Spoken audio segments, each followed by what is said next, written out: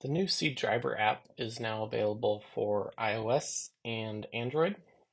Um, when we go ahead and launch the driver app, it's going to be your existing login.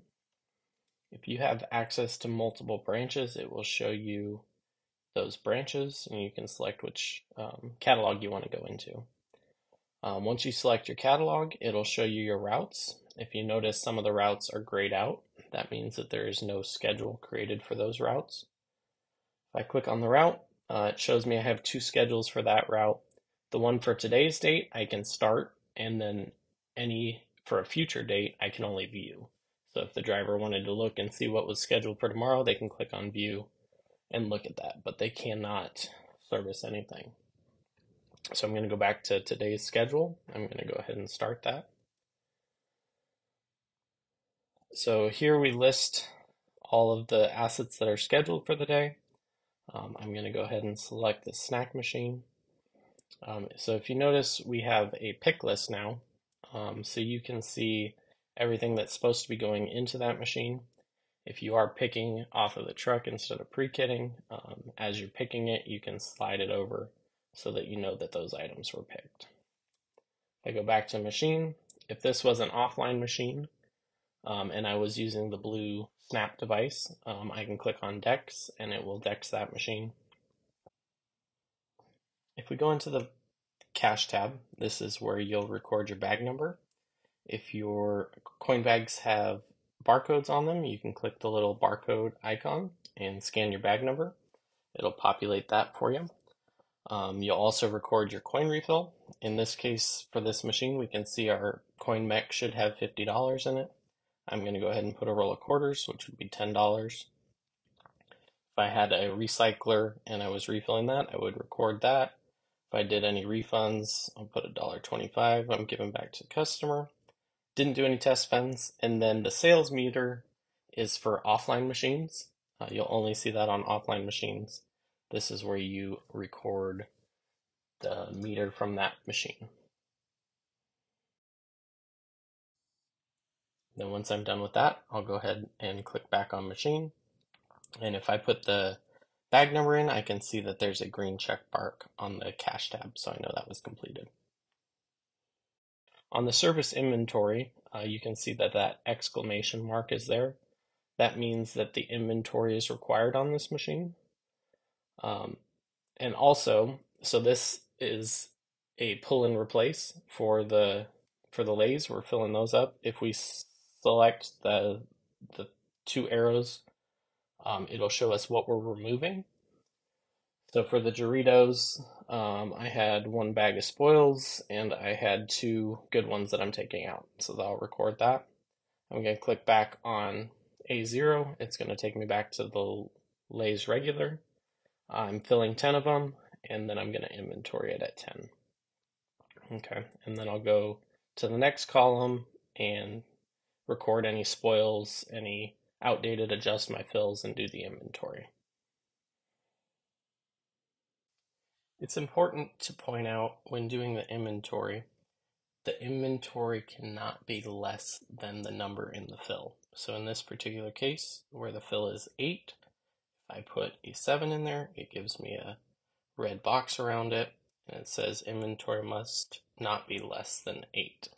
So I can do 8, I can do 9, I can do 10, but I cannot do 12 because that exceeds capacity. Once I've completed my inventory, I'll click back on machine. I see that I have a green checkbox. That means that the inventory has fully been done. And then next step would be to take a photo. So click on the photo, click the little camera icon, and then hit save. If there's any notes, uh, we can go ahead and put those notes in. Um, if there was uh, needs a light bulb, anything like that.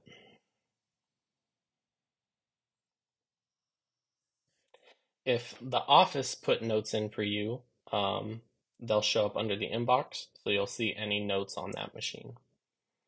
Okay, and then once our notes in there, we can hit back on machine, um, and then we'll go ahead and hit that done button.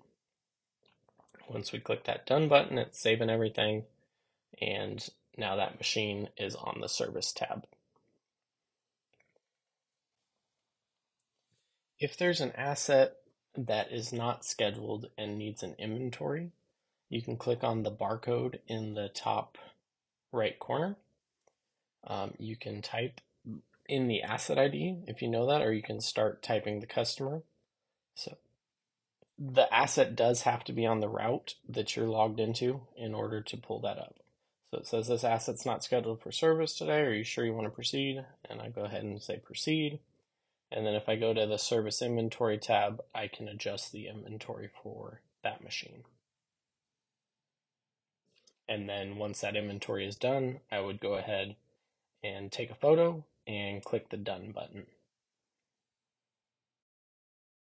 For markets, um, if we went into our beverage cooler, um, obviously there the cash tab is grayed out um, because the market sections don't take cash. But a new feature that we added, so on this service inventory tab, if we click on that, we have this barcode in the top right corner. If I click on that, I can scan a barcode. It takes me to that item and I can adjust the fills or the inventory on that. For the market kiosks, the only thing on those would be the cash tab. So you put, put your bag number in. If there's no refunds, no test spends, go back to machine. You can take a photo of it and you hit done. For delivery points, so we can go to a, a delivery order. Uh, we can click on the, the order, um, make any adjustments if this was a pre, pre-built order. Um, say I didn't get 40 Frappuccinos, I only got 24. I can make that adjustment. And then if I'm picking it off the truck, I can slide it over so I know that that was picked as well. And then same here. Go to the invoice. Customer can sign that. All right, hit the green checkbox. Go back to delivery. You can take a photo if needed, add any notes. And then when you hit done, that invoice will be finalized and the customer will get a copy of that invoice. At the end of the day, you'll go to the Service tab and click the End Day button. At this point, it'll ask you, are you sure you want to end your day? Say Continue. It shows that five assets were serviced and five assets were uploaded. So at this point, it is okay to sign out and say yes. It is very important that you sign out at the end of the day and log in to your schedule the next morning.